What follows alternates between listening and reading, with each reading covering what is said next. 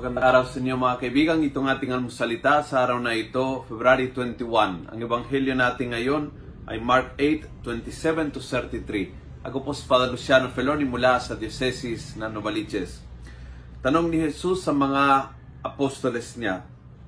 Tinanong niya ang kanyang mga alagad, sino raw ako ayon sa mga tao? Alam po nating na uh, yung ebanghelyo na yan, no? pero nagustuhan ko yung tanong ni Jesus, sino ako ayon sa mga tao?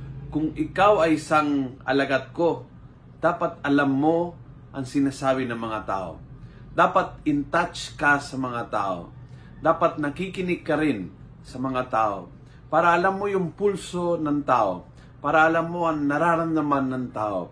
Para alam mo ang opinyon ng tao at uh, pinapahalagahan.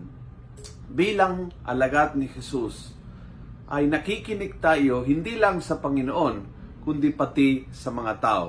May isang uh, santo in the making, isang obispo na martir ng Argentina uh, na in the process of canonization na sabi niya, ang isang alagat ni Jesus ay dapat may isang tainga sa Ebanghelyo at isang tainga sa mga tao.